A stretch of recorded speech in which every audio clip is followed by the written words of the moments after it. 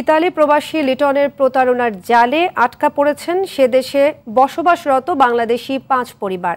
প্রতারণার ফাঁদে পড়ে চার কোটি টাকা খুইয়ে পাঁচটি পরিবার নিঃস্ব ও আতঙ্কিত জীবনযাপন করছেন। সকালে ঢাকা রিপোর্টার্স ইউনিটিতে সংবাদ সম্মেলনে ভুক্তভোগী পরিবারের পক্ষে এমন অভিযোগ করেন আমিনুল ইসলাম। পাওনা টাকা না দিয়ে উল্টো বিভিন্নভাবে হুমকি ও ভয়ভীতি দেখাচ্ছেন লিটনের লোকজন। এ সময় সরকারের কাছে ন্যায় বিচার চান তারা।